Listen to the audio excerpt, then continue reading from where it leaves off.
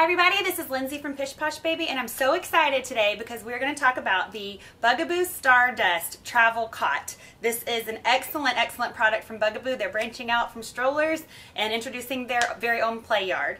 Um, it comes with the travel case. I've got it in here. It is so convenient, lightweight, uh, easy to take with you wherever you're going. We've got a Velcro closure on this side, the gorgeous Bugaboo logo here with the easy carry handle. It only weighs 15 pounds. It comes with the carry case, the mattress, and obviously the bassinet. So let's look at it. The best part about this is how it unfolds. It literally unfolds in one second. And those of us who know we've been fighting with other brands of play yards all these years, you're going to be amazed.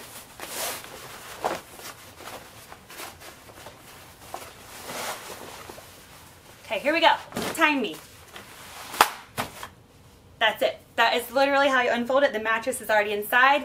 Uh, it is ready for baby to rest or play. Um, and it's a little narrower. Great for compact spaces, great for travel.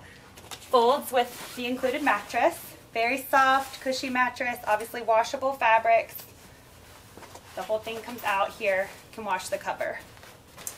So we showed you the unfold. Let me show you the fold.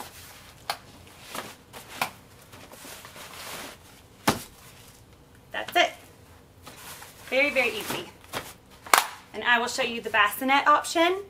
You can see now I have put the Stardust into bassinet mode, and that's just for our younger babies to bring the height of the mattress a little bit higher.